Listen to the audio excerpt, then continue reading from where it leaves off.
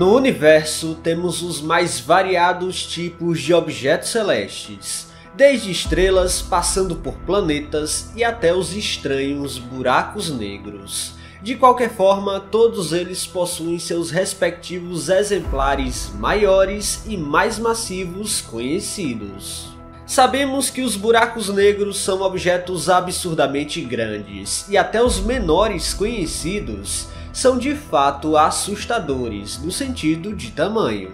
Nessa categoria de objetos, podemos encontrar os buracos negros de massa estelar e até aqueles que são chamados de supermassivos. Mas um deles, conhecido como Tom 618, prova que o universo não está para brincadeira. No vídeo de hoje você vai conhecer o maior buraco negro já encontrado no espaço.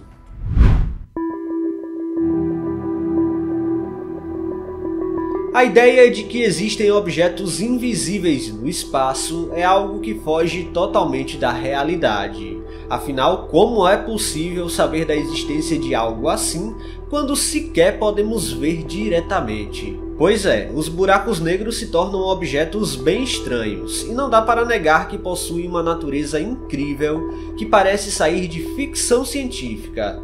Mas de ficção não tem absolutamente nada, e eles são objetos onde a física do nosso universo é colocada à prova. Bom, considerando que a gravidade é nada mais nada menos que a curvatura do espaço-tempo causada por objetos massivos, sabemos que precisamos de muita energia e velocidade se quisermos vencer essa curvatura causada pelos objetos. Acredite, eu, você aí do outro lado também temos as nossas próprias curvaturas no espaço e temos o nosso próprio campo gravitacional. Porém, como somos objetos de baixa massa, nossa gravidade se torna irrelevante e somente objetos gigantescos como a Terra e o Sol podem exercer um forte campo gravitacional, pois eles acabam tendo trilhões e mais trilhões de toneladas de massa. Por conta disso, todo corpo celeste tem o que os físicos chamam de velocidade de escape, e a partir da superfície terrestre, um foguete precisa acelerar a incríveis 40 mil km por hora se ele quiser vencer a gravidade terrestre e seguir para fora do campo gravitacional. Essa velocidade necessária vai ficando cada vez maior conforme aumentamos a massa do objeto. E o Sol, por exemplo, tem uma velocidade de escape na superfície de impressionantes 2 milhões de quilômetros por hora, aproximadamente. Pois é, esse número é gigantesco e é necessária uma quantidade de energia absurda para conseguir escapar do campo gravitacional do Sol, se algo estiver tentando sair da superfície solar. Mas o que isso tem a ver com o tom 618? Bom, é muito importante primeiro a gente exemplificar a natureza da velocidade de escape, pois é por conta dela que o buraco negro é escuro. Afinal, por mais que a luz seja incrivelmente veloz e atinja a velocidade de até 300 mil km por segundo no vácuo, quando ela encontra o caminho de um buraco negro, ele pode exercer uma força gravitacional suficiente para fazer a velocidade de escape superar os 300 mil km por segundo. Se a luz, que é feita de partículas chamadas de fótons, não tem velocidade suficiente para sair para o espaço, então um buraco negro será escuro e não emitirá qualquer radiação eletromagnética. A única forma de detectá-los é observando os efeitos gravitacionais que eles causam ao redor, como a aceleração de massa, a espaguetificação de estrelas que se aproximam demais e estrelas que acabam orbitando um ponto aparentemente vazio no espaço, mas que obviamente não está vazio, e um objeto monstruoso fica bem ali no centro. No universo, temos dois tipos comuns de buracos negros, os supermassivos e aqueles de massa estelar. Os supermassivos são buracos negros muito antigos e remotam às fases iniciais do nosso universo, através da aglutinação de grandes quantidades de hidrogênio, onde atingiram um nível crítico ao ponto de surgir um objeto com gravidade tão poderosa que nem a luz escaparia. Existem também os de massa estelar, que como o próprio nome já explica, são aqueles que nasceram a partir do colapso do núcleo de uma estrela que antes era supermassiva.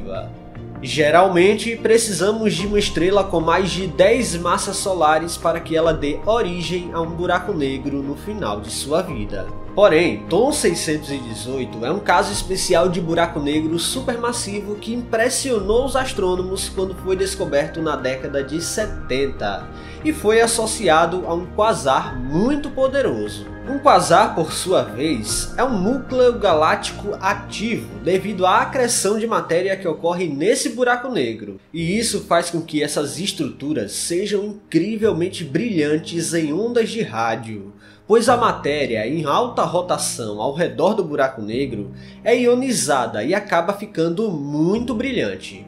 Vários deles já foram encontrados no espaço profundo, mas o quasar associado a Tom 618 é especial porque estamos falando de uma fonte de rádio incrivelmente poderosa. Localizado a 18 bilhões de anos-luz da Terra, Tom 618 é um verdadeiro monstro cósmico, com 66 bilhões de vezes a massa somada do Sol o que torna o buraco negro mais massivo que sabemos da existência em nosso universo. Sua idade é estimada em 10 bilhões de anos, ou seja, Tom 618 deve ter nascido quando o universo tinha cerca de 4 a 3 bilhões de anos de idade. Sua distância aparenta ser maior que sua idade porque o universo está em expansão e não podemos comparar idade com distância. O universo está se expandindo velozmente e acaba distanciando os objetos longínquos também rapidamente. Em algumas escalas, ele pode até expandir mais rápido do que a própria luz. Não é à toa que o diâmetro do universo observável é esperado para ter cerca de 96 bilhões de anos-luz. Mas quanto a Tom 618, estamos lidando com um objeto que deve ter 1300 unidades astronômicas de raio, ou seja, se fosse colocado no lugar do Sol, engoliria todo o sistema solar a uma distância 40 vezes o tamanho da órbita de Netuno, isso quer dizer que Tom 618 tem impressionantes 390 bilhões de quilômetros de diâmetro. O buraco negro é tão, mas tão massivo que os astrônomos consideram criar uma nova categoria de buracos negros ultramassivos ao invés de supermassivos. Mas acha que as características estranhas de Tom 618 acabaram? Bom, mesmo se somássemos a massa de todas as estrelas ativas da Via Láctea, ainda não chegaria na massa desse buraco negro. Hoje estimamos que a massa só de estrelas perfeitamente ativas na galáxia deve ser algo próximo de 65 bilhões de massas solares enquanto o Tom 618 tem 66 bilhões de massas solares. Um único objeto representa mais massa do que todas as estrelas de uma galáxia inteira.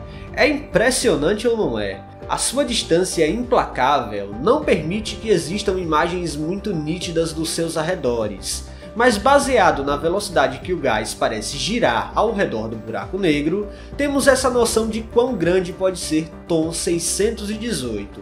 Por lá, os astrônomos encontraram gases se movendo a 7 mil km por segundo, indicando que ali deve ter uma forte força gravitacional aliada a uma grande quantidade de massa. A aceleração do gás é a principal fonte de rádio para esse quasar, onde os arredores de Tom 618 pode ser tão brilhante quanto a luz de 140 trilhões de sóis, tornando esse também um dos lugares mais brilhantes conhecidos no espaço. A verdade é que não falta recorde que poderíamos falar sobre Tom 618. Esse aqui é o maior e mais poderoso buraco negro conhecido. Um monstro cósmico distante mostra como a natureza pode ser implacável. Obviamente temos outros pesos pesados no universo, mas nenhum chega aos pés de Tom 618. Pessoal, se vocês gostaram deste vídeo, não se esqueçam de deixar o like aqui, que é muito importante. E se você não está inscrito aqui no canal ainda, convido você a apertar o botão inscrever-se aí embaixo. Até a próxima!